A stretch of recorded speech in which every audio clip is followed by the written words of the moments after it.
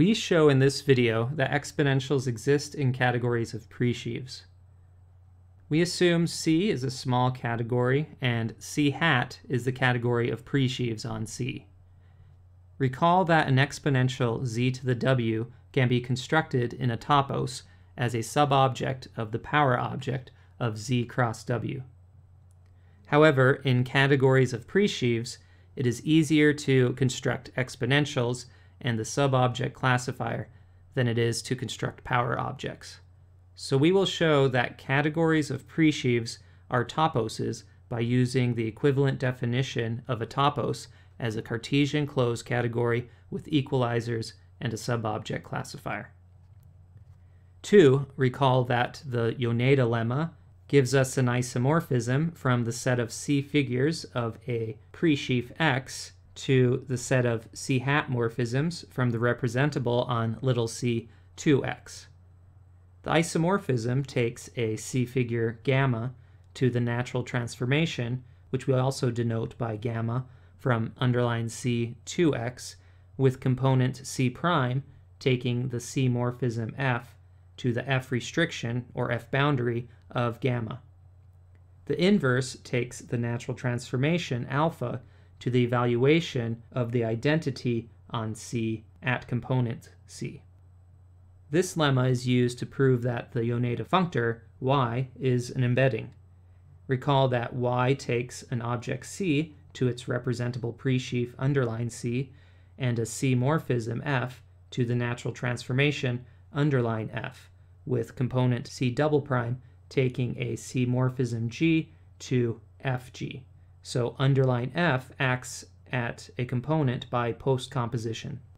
Let W and Z be C hat objects. If Z to the W exists, then for each little c in C, the set of C figures in Z to the W is naturally isomorphic to the set of C hat morphisms from underline C cross W to Z by the Yoneda lemma and the definition of exponential adjunction. So we define z to the w as the following presheaf, where y op is the Yoneda embedding of c op into the opposite category of c hat.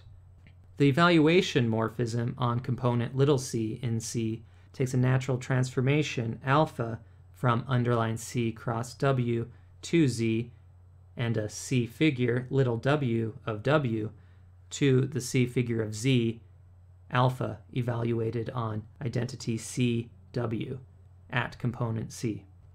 To show that this assignment defines a C hat morphism, we need to show naturality. So given a C morphism F from C prime to C, we need to show the following diagram commutes. So take an element alpha W where alpha is a C hat morphism from underline C cross W to Z, and little w is a C figure of the container W. Then the high road takes us to the F restriction of alpha C evaluated on identity of CW, and the low road takes us to alpha F cross 1 C prime evaluated on the identity of C prime and the F restriction of W. We need to verify that these are the same C prime figures in Z. We can use naturality of alpha to show that alpha C evaluated on the identity of C and W to show that the F restriction of alpha C evaluated on the identity of C and W is equal to alpha C prime on F and the F restriction of W we use the definition of alpha f cross 1 to see that the C prime figure obtained from the low road is also alpha C prime evaluated on F and the F restriction of W. Therefore, we have naturality giving us the evaluation as a well-defined C hat morphism. We now prove that this evaluation morphism is the exponential object in C hat.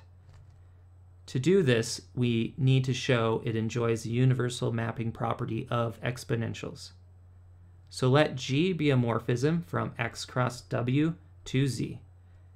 We define K from x to z to the w on component C by taking a C figure alpha of x to the C figure of z to the w given by postcomposing G on alpha cross the identity on W.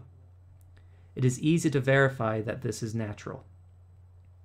Note that we are using alpha both to denote the C figure of x as well as the C hat morphism from underline C to x given by the isomorphism in the Yoneda lemma. The context makes it clear which is which. Now we want to show that k cross 1 is the unique factorization making this diagram commute. On component C, we have the C figure alpha w of x cross w being assigned to gc alpha w. Taking the low road, we have alpha w taken to gc alpha c cross 1 evaluated on the identity of c and w. But by Yoneda, alpha c on the identity of c is the C figure alpha in X. And so this is equal to GC alpha W, showing that this diagram commutes. Then uniqueness is clear by the definition of evaluation completing the proof.